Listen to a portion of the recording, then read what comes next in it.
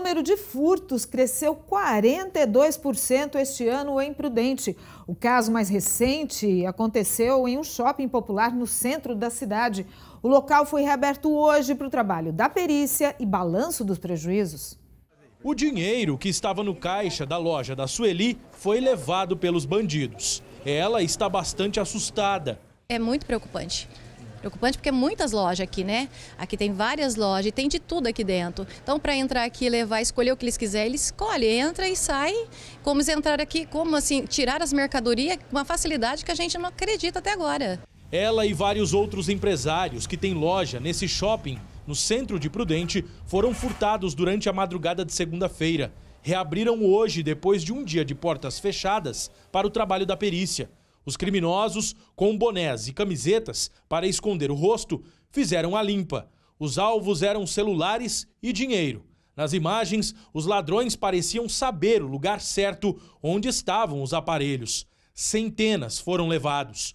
O local, segundo trabalhadores, não tem vigia noturno e nenhum tipo de alarme. Só as câmeras das lojas que registraram a ação. A minha loja mesmo foi furtada porque tinha cadeado nela, né? Mas quem não tinha, e eles ficaram muito tempo aqui, né?